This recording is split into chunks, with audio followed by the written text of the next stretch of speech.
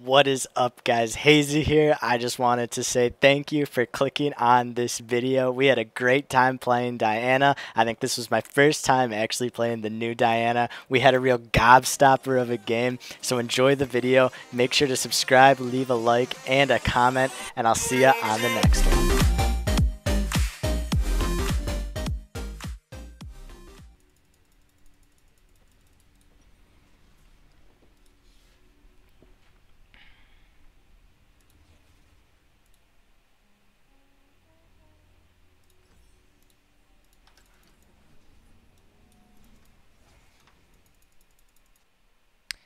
I definitely want some MR this game.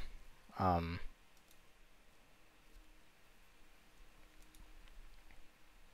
maybe a Banshee's Veil. 60 magic resist. They have four champs that primarily deal AP damage, and their ADC isn't super long range, so it's not like he'll just kite and destroy all of us. There'll be a little bit of a... He'll have to play a little bit ballsy, and hopefully we can just kill him.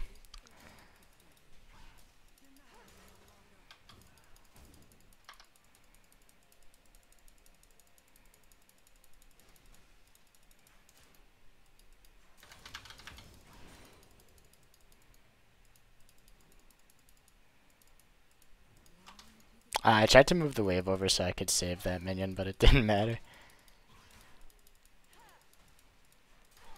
Oh, I am farming so bad.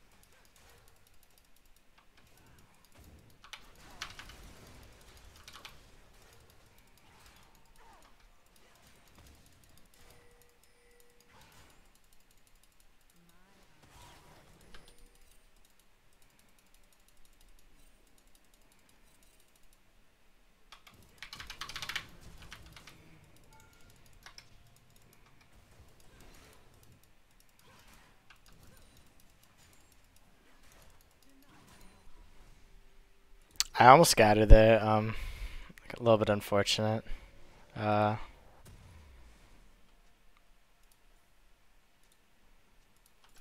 I'm just gonna do this for the power spike, the blasting wands. It lets me like tech into um, Banshee's Veil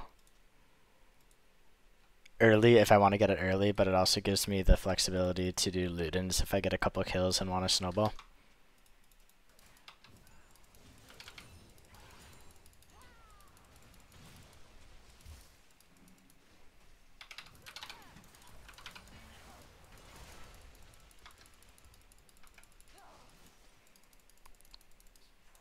So we traded ultis. I think it's her ulti. Wow, that hit me. I think her ulti is um more important than my ulti. Gives me more kill pressure when my ignite comes up in a minute.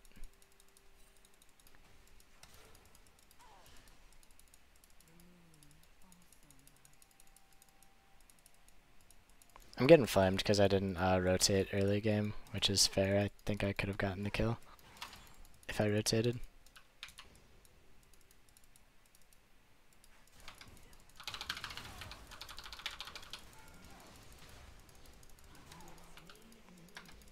Oh, I almost lived there. That was close.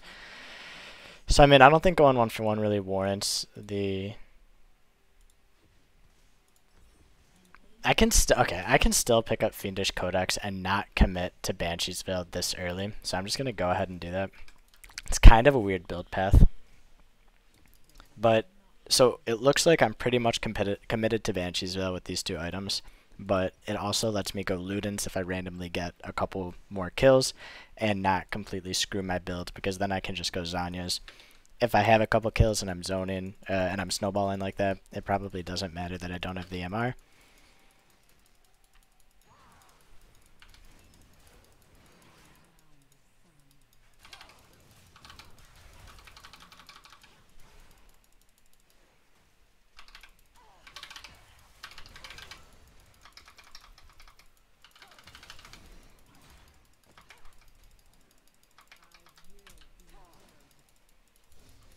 I almost was able to turn there.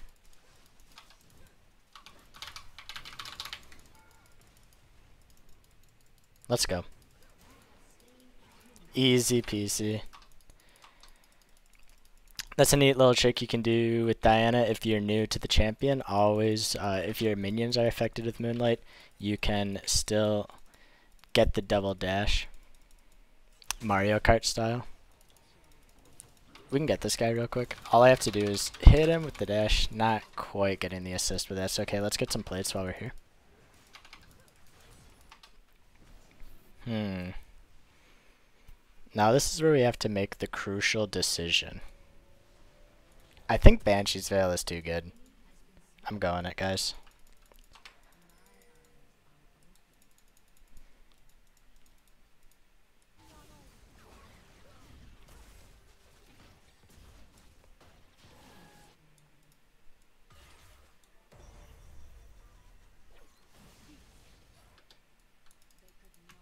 I'll rotate. I mean, the wave is in a neutral position, so we're kind of just trading power. Or trading creeps, trading gold to do this. Um, I'll cut her off just to make sure she doesn't escape, and maybe...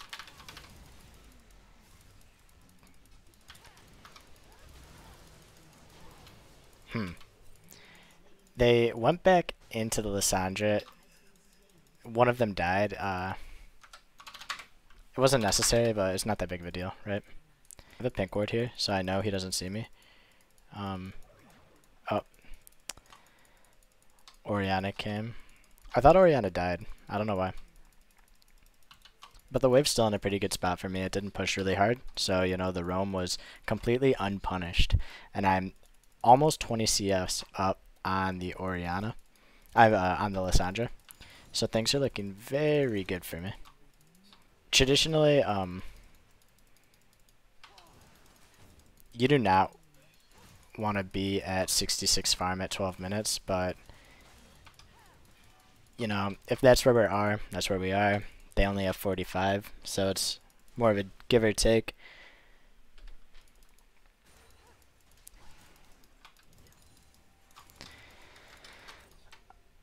Uh, I don't actually know if I'm supposed to be leveling up E second or W. Ekko's top line. Um,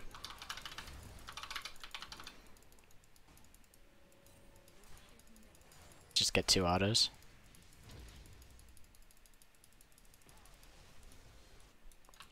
I'll probably be going Merc Treads this game as well.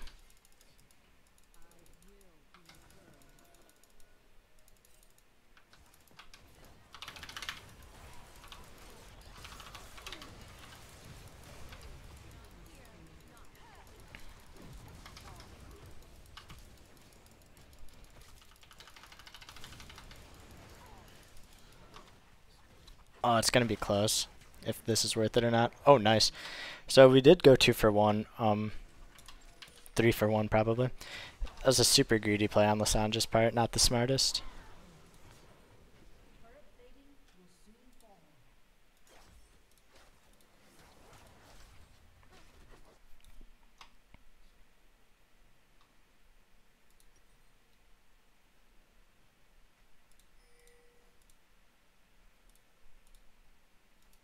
I should be unkillable.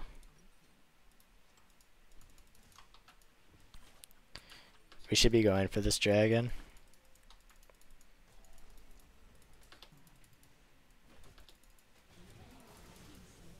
I wonder if Orianna's gonna keep fighting this.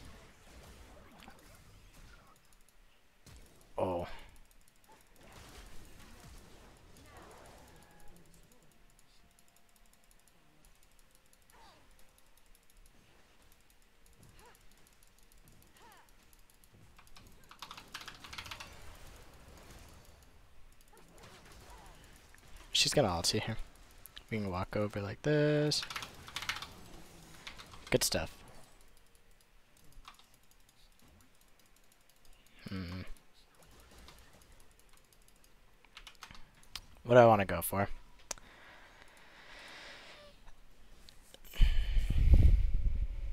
I might just go for Ludens. Typically you want to get this item first, but I, th I still think it's strong with my gold lead.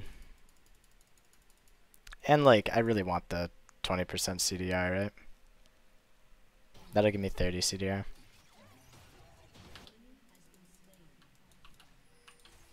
Jinx, Jinx cannot uh, go for the turret right here because Ekko's bot side.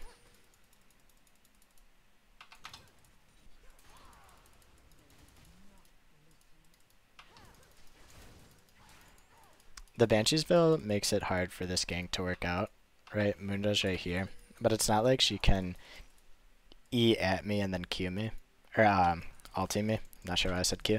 She can't E at me and just like ulti me from a full lane away, you know, that combo. Um, because of my Banshee's Veil. So it makes me really safe. I'm not sure if, I don't think Mundo's still here. If he is, he's wasting a lot of time, but I didn't see him back up at all. He might still be here. Oh, never mind. We are 27 farm up, two kills up, or one kill up, but she's two kills. Let's just try to blow up Ekko as quick as possible. We can do this right when the nice. We can uh, we ulted them right there to make Kindred survive for maybe just a second longer. My E's up in 8 seconds. That's what I'm waiting for. Tryndamere should be able to face tank this though. Good stuff. I don't have any mana to push this wave super hard, but Tryndamere's here to help.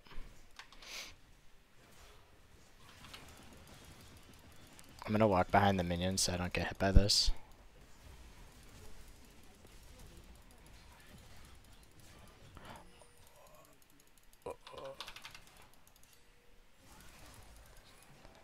And I thought Lucian was going to start running away, so... I, and I think Tryndamere and I both had the same thought.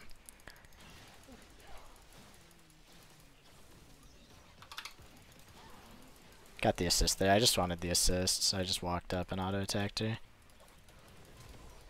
I can't believe. A lot of us just died right there. All they were doing was walking down mid at us, and Jinx is alive. Surprising. Um...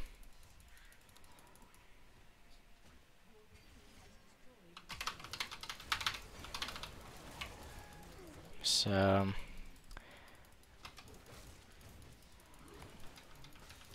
Is this worth it? No, not at all. Was it cool? Hell yeah. I thought I was going to do slightly more damage, to be honest. I didn't realize I'd have to auto-attack her a couple times after combo. Jinx is just standing there like a kiting genius. Interesting Kindred ultimate. Kind of unnecessary, but better safe than sorry.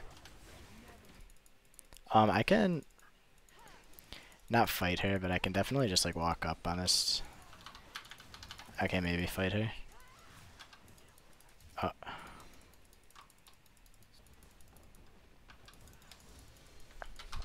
How many cannons have I missed? I'm gonna guess I've missed like four cannons so far.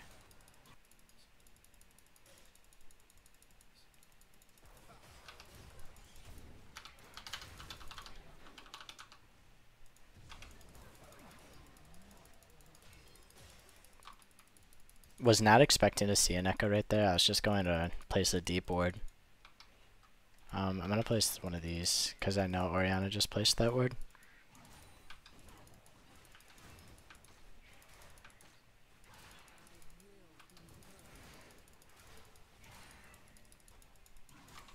Just kind of fighting for vision around the Baron pit.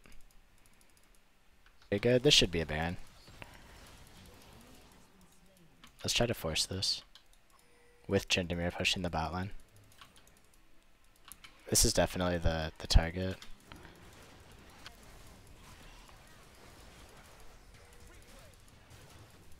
Tryndamere decided to come, which is probably the smarter idea. Oh, I'm boosted. We're gonna get him though, so it's okay. I'm gonna go for Azonia so I can play a little bit ballsy. I'm gonna wait for the um, stopwatch, and I say this kind of often. I like to wait for the stop. Like I like to get the stopwatch as the first component. You'll see a lot of the high high level players do it, and it's because the fights that happen right now are really gonna cement the game in our favor. And the stopwatch is such a swing item that it can make or break a fight the way you use the stopwatch. So with those two factors, um, being able to use the stopwatch uh, effectively in these next couple fights can just seal the game off. LT up again. So I'm kind of looking for a... I didn't have E up there, so this whole fight was a little bit hard. Completely alone here. So I would recommend we push bottom lane. This gives us dragon control as well as um,